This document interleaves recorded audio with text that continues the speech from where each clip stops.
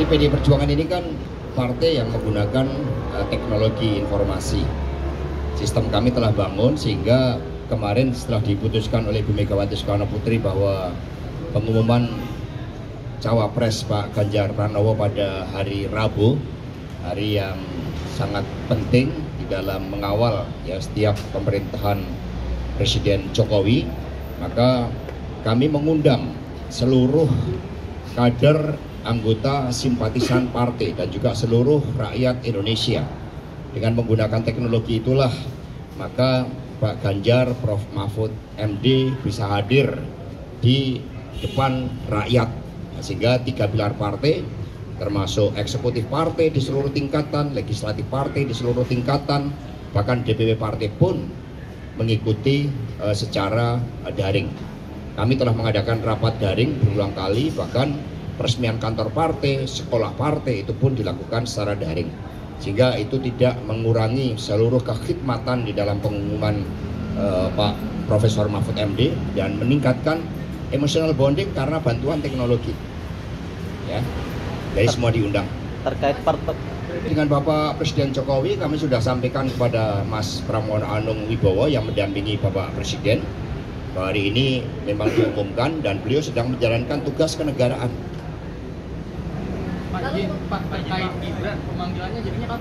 Jadi eh, kami komunikasi, jadi begitu eh, hari ini dilakukan pengumuman Profesor Mahfud MD sebagai pendekar hukum, sebagai sosok yang dikenal membela wong cilik, sosok yang bersih, sosok yang mumpuni, memiliki pengalaman di eksekutif, legislatif, dan lembaga yudikatif, maka saya kontak ke Mas Gibran, Mas pertemuannya izin ditunda karena kami langsung bergerak cepat.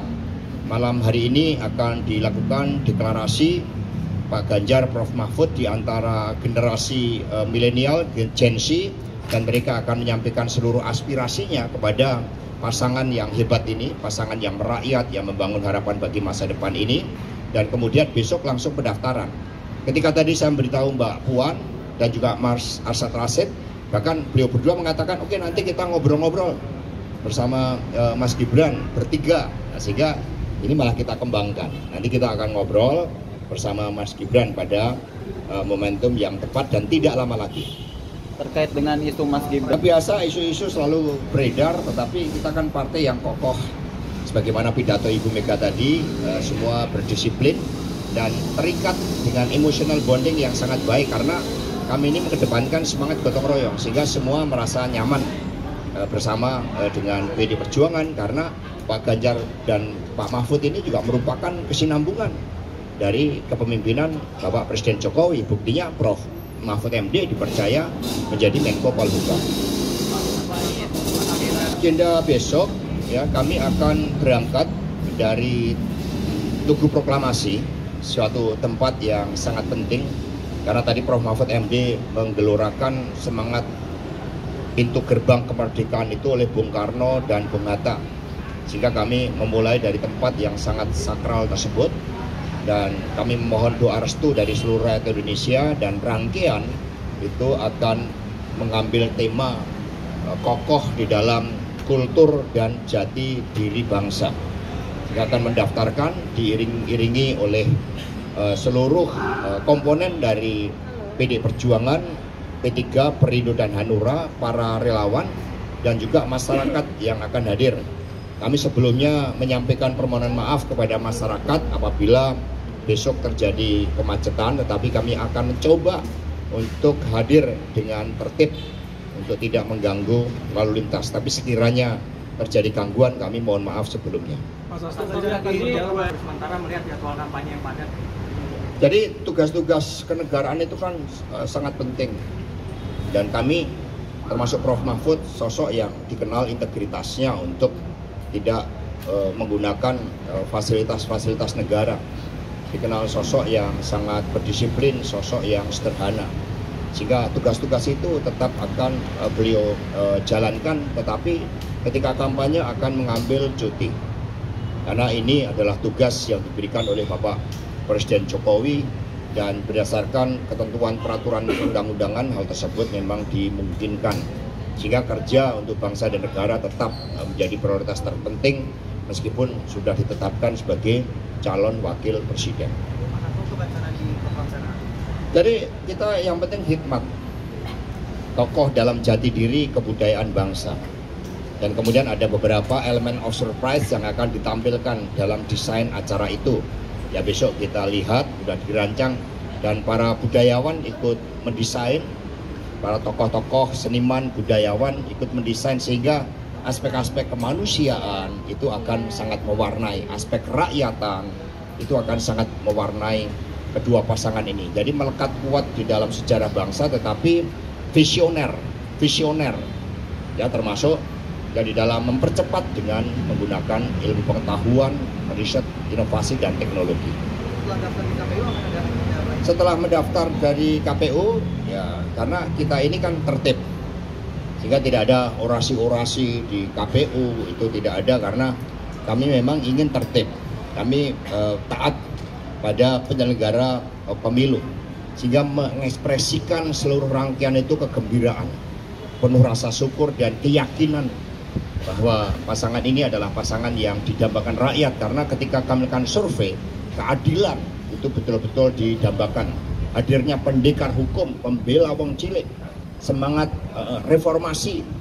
Jadi anti KKN reborn. Nah, itu yang disuarakan oleh masyarakat dan kemudian kami mendengarkan itu. Tetapi Pak Prof Mahfud kan merupakan bagian dari pemerintahan Presiden Jokowi. Beliau mampu menjalankan tugas dengan baik sehingga tingkat kepuasan terhadap uh, hukum keamanan itu juga meningkat meskipun kami tidak menutup mata ada beberapa hal yang harus disempurnakan karena kesinambungan kepemimpinan dengan Presiden Jokowi itu sangatlah penting.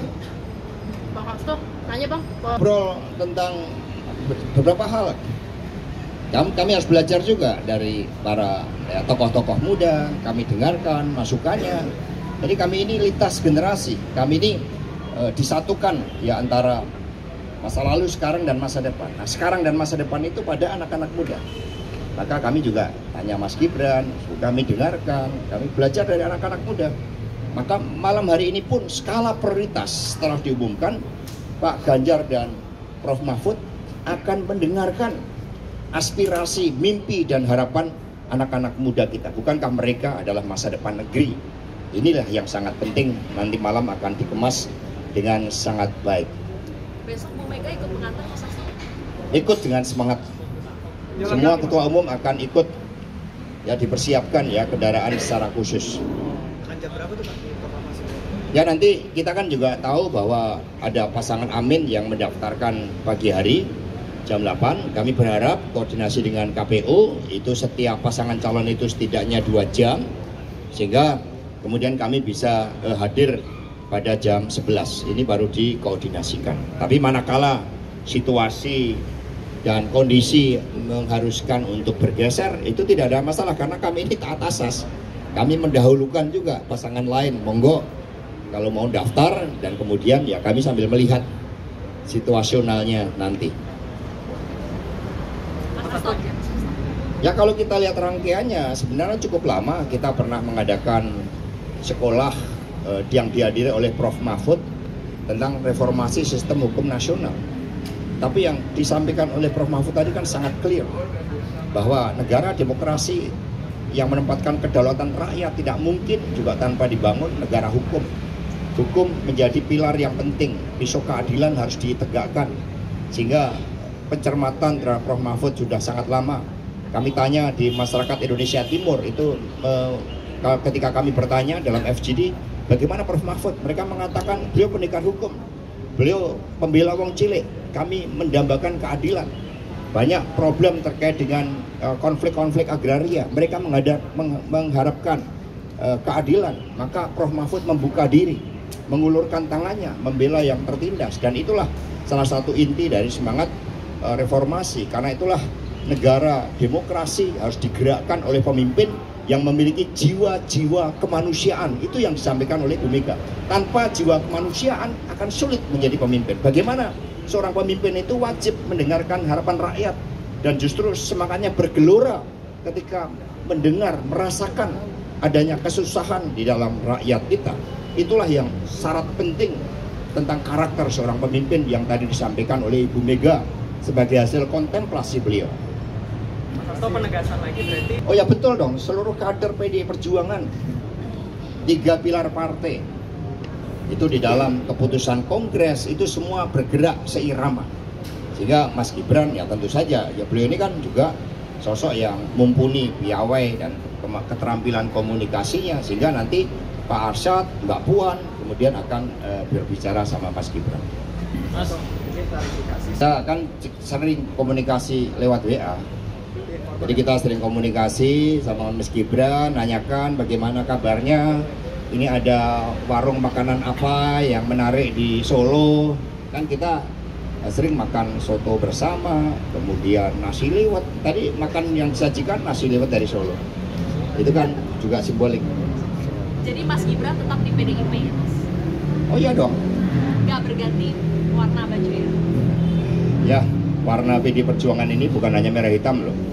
Warna PD Perjuangan ini merah putih juga, ya, yang berkibar tinggi, merah Mas, putih. Mas Asto mau nanya tadi kan sempat di atas eh, maksud mengajak keluarga untuk foto bersama itu. Loh, kita kan pemimpin itu dimulai dari keluarga. Apalagi ya Prof Mahfud setelah diberitahu oleh Ibu Mega juga langsung beliau menghubungi ibundanya, menghubungi keluarganya sama dengan Pak Ganjar Pranowo karena keluarga ini kan menjadi eh, suatu persemaian dari seluruh cita-cita di dalam mengabdi pada bangsa dan negara. Maka seorang pemimpin tanpa mendapatkan dukungan keluarga, tanpa doa-doa kasih seorang ibu itu tidak akan mungkin menjadi pemimpin. Karena menjadi pemimpin diperlukan getaran kemanusiaan, getaran kerakyatan, spiritualitas terhadap Tuhan yang membumi dengan kehendak rakyat. Ya cukup ya. Nah ini atau atau kapan sebetulnya? Nanti saya tanyakan Bu Mega. Jadi keyakinan itu dari mata hati dan pikiran. Maka Ibu Mega selalu mengatakan kami menetapkan Pak Ganjar dan Prof Mahfud ini bukan untuk kepentingan diri pribadi, bahkan bukan semata-mata bagi PD Perjuangan. Tetapi dipersembahkan bagi rakyat, bangsa, dan negara. Waktu kita tidak banyak untuk mengejar kemajuan 13 tahun bonus demografi. Maka pertimbangan ini adalah pertimbangan yang sebenarnya eh, berbeda dengan pertimbangan yang hanya sepertinya hanya elektoral. Ini pertimbangan pada keyakinan politik, pertimbangan pada kehendak rakyat, pertimbangan pada apa yang menjadi dambaan rakyat terhadap keadilan yang harus diwujudkan secara progresif. Demikian pula keadilan sebagai basis dari percepatan untuk kemakmuran. Itu hasil kontemplasi dari Bu Mega setelah mendengarkan juga masukan dari Presiden Jokowi, dari para ketua umum, dan yang terpenting mendengarkan dari rakyat. Maka jiwa keadilan yang bergelora itulah yang menjadi harapan rakyat dan dipersembahkan Pak Ganjar dan Prof. Mahfud MD. Terima kasih.